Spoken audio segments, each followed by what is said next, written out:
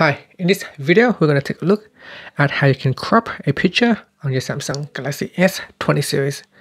Now first tap on the home key to go back to your home screen and next swipe up to go into the app screen and then uh, tap on gallery.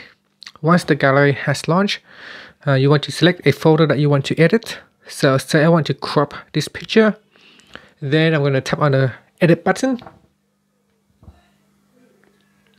Next, there is a handle on the corner of the photos, so you can drag on the handle to readjust the size and select the part of the image that you want to crop. So here it is. Here it is. So let's say I want to crop just this part of an image. And once you are happy, you can tap on the save button. Now there are other things that you could do. You can also flip an image like so. You can also change the perspective of an image.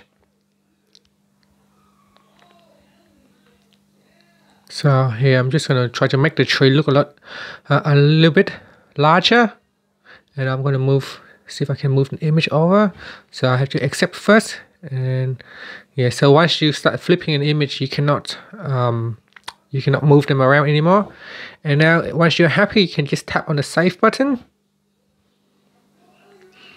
And that's it. So that's how you can crop out an image uh, on your Samsung Galaxy S20 series.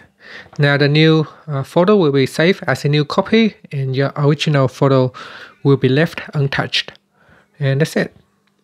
Thank you for watching this video. Please subscribe to my channel for more videos.